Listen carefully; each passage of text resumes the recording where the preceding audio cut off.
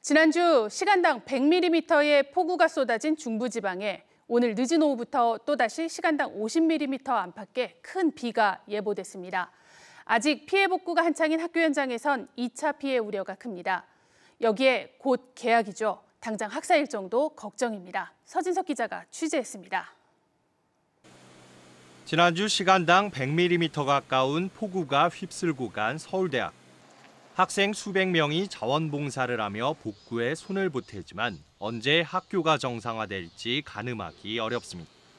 강의실 내부로 그 토사 뻘 같은 게 한 5cm 이상 다 쌓여 들어온 상황이었고 비대면까지 감수해야 되지 않을까라는 생각이 듭니다.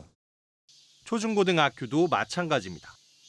당장 내일부터 서울에서만 학교 수십여 곳이 개학하는 등 본격적으로 2학기가 시작되지만 피해가 복구된 학교는 찾아보기 어렵습니다. 피해가 워낙 큰 데다 비 예보도 잇따르고 있습니다.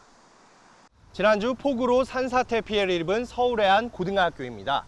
2차 피해를 막기 위해 방수포를 설치해놨지만 개학을 하루 앞둔 오늘 또다시 폭우가 예보되면서 불안하다는 목소리가 나옵니다. 오늘 늦은 오후부터 내일까지 경기 동부 등 중부 지방과 남부 지방에 시간당 최대 100mm 이상의 폭우가 예보됐습니다.